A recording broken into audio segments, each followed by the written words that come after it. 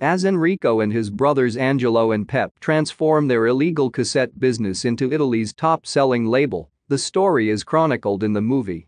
Their cassettes, marked mixed by Erry, went viral and had a profound cultural impact. However, as their success increases, the finance police's focus on their questionable business strategy also increases. Here is everything you need to know about the conclusion of Mixed by Erry if you're interested in learning how this company affects the Fratesio brothers' lives. Spoilers ahead. Brothers Erry, Pep, and Angelo live with their father Pasquale, who makes a career by selling fake whiskey in a home that is insecure financially. Each sibling chooses a different and independent route as they get older. Erry and Angelo attempt to convert their tiny mixed-up commission company into a store that sells counterfeit record cassettes after losing their jobs, though. As a result, they are forced to ask Don Mario for a loan of 8 million lire so they may purchase the tools they need to properly and efficiently record albums. Their store makes a hefty profit, and the brothers are able to pay off their debts with ease. Erry pitches his idea to branch out and sell the tapes to other towns. As they expand their business, Erry and Pep get in trouble with a Moroccan mafia boss and reach out to Fresh out of Juvie Angelo for help. After solving the Moroccan mafia problem, Angelo officially joins the business, which rapidly grows and becomes the center of Forcella. The Fratesio brothers equip numerous employees and new laboratories where they produce their pirated cassettes. Music becomes more accessible to the youth, and Erry becomes a local celebrity and finally realizes his dreams of becoming a DJ. Soon, the cops raid the Mixed by Erry record store but can't arrest the brothers due to lack of evidence and gravity.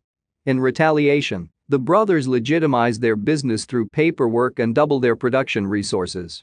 People begin selling their pirated cassettes as the Fratesio brand expands, which worsens the nation's piracy issue. The Fratesios eventually struck an exclusive arrangement with Milan-based big-shot Italian manager Arturo Maria Barambani, who also provides them with massive quantities of blank cassettes. They also learn about compact discs, a recent development in the audio industry. A few years later, Fratesio's company Mixed by Erry captures 27% of the market and overtakes all other record labels in sales in the nation. In order to combat piracy in Italy, the ministry allots special money, with Ricciardi in command of the division. How did the police catch Enrico Fratesio? Erry and Arturo become good friends after the Fratesios and Arturo Maria Barambani get into a business alliance. Erry even names Arturo the godfather of Carmen, the daughter of Teresa and Erry. Arturo, though, works in the music distribution sector as a result, he quickly learns about the pressure record companies applied on Italy's government to solve their widespread problems with piracy. Even though Arturo has always been aware of Fratesio's involvement in piracy, it isn't until he meets with the institution that he fully comprehends the scope of their business. Arturo consequently becomes anxious. The only provider to the mixed by Erry company is Arturo's business. Arturo becomes anxious as a result of the possibility that he and his crew will be caught in the crossfire. At first, Arturo tries to encourage Erry to shut down his company. Pirating has been a ludicrous business opportunity in Italy so far. Since Fratesios sit at the top of the piracy business, all three brothers are incredibly well off. Nevertheless, Erry insists they don't do this job for the money. Erry is extremely passionate about music and is known as a tastemaker across his wide range of customers. The Fratesios brothers grew up surrounded by petty illegal activities. Since the laws have always been so lax around such crimes, they don't recognize the criminality of their actions. After all, they're only making mixed-ups.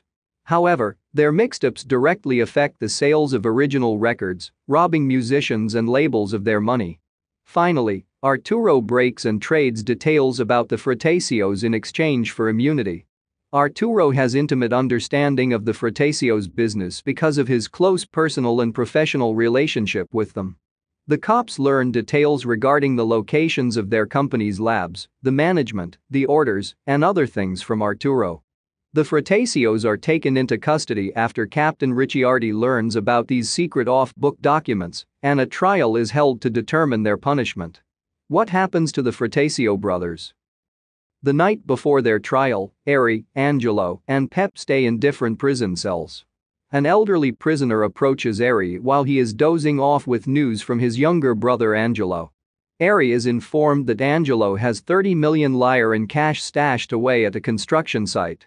Tennis courts will be erected on top of a cement-covered tennis court location. The brothers will have the opportunity to repurchase the property after the 10-year lease on the tennis courts expires. By doing this, the brothers will not have to worry about money when they are freed from prison, even if they are found guilty. The next morning, Teresa sends Erry a package with a suit for him to wear to his trial. The outfit is wrapped in a newspaper that consists of an article that catches Erry's eyes right before the trial. In the article, Erry learns about the Maastricht Treaty signed by 12 countries, including Italy. According to the newspaper, the Maastricht Treaty will replace all the currencies across the 12 countries with a common euro. Erry understands that Angelo's strategy won't benefit him or his brothers as a result. The judge asks Erry if he enters a guilty or innocent plea at the beginning of the trial. Erry's attorney has given strong instructions for Erry to refute all allegations and assert his innocence. Erry, however, just affirms his view that he is merely a DJ. Erry enters a guilty plea as a result, and the Fratesios are given a four-year and six-month prison term. Following their conviction, the Italian copyright and intellectual property protection organization the Federation Against Music Piracy is established. Erry informs his brothers about the Maastricht Treaty, but Pep and Angelo are hesitant to accept his account.